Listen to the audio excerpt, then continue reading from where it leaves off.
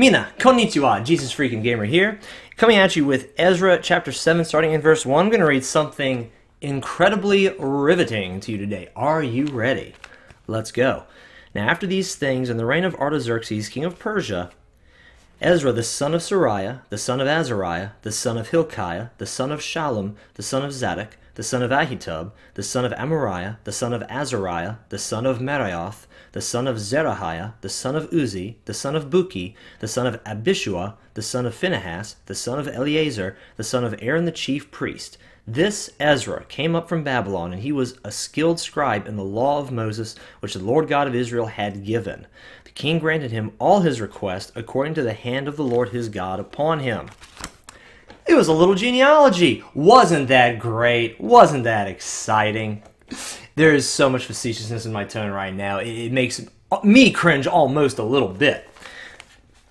Now, actually, I can prove to you, I, I spoke a few days ago about how sometimes there are boring parts of the Bible, you should read them anyway. I found a really good example of how how one's actually important because this one I can actually point to a very specific reason why it's important. This is in the middle of another, not a genealogy, but another giant boring section. The section on which I preach the, um, you know, some parts of the Bible are boring thing on, and that's Ezra chapter 2. And if you go down to Ezra chapter 2 and read in verse 62, it says, These sought their listing among those who were registered by genealogy, but they were not found. Therefore, they were excluded from the priesthood as defiled. They could not function in a priestly manner, which Ezra was a priest, because their genealogy was messed up. His genealogy was in good shape, and not only was he able to work in the priesthood, he was one of the leaders who helped rebuild the temple, refound Jerusalem at that given time in history.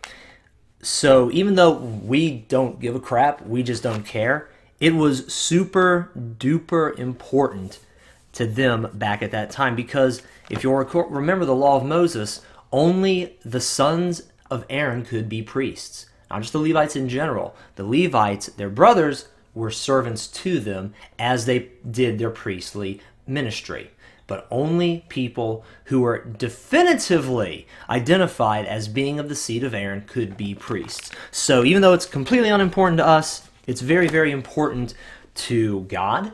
He took enough. He took time in His Word to, say who the priests were and who the priests weren't, and it was important to the Jews because they were actually trying to follow God at this point in history. So even if it's not important to us, even if we don't always get it, because there are some genealogies where I'm just like, oh my gosh, snore. I read them anyway but it's important. If God put it in here, it's important. So read it. And who knows, maybe in a few years after I've done some research, maybe the I have a, I have a few ideas of which parts of those genealogies are important.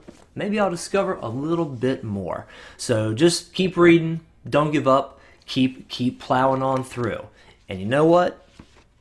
As some some of these things as you give them time to as you give them your time to read them and you give them your time to think on them, you'll start learning some things from the Bible. Things will start clicking and start making sense. You'll be like, okay, that's not completely unimportant after all. So, guys, thank you very much for watching this video. I love you, and God bless.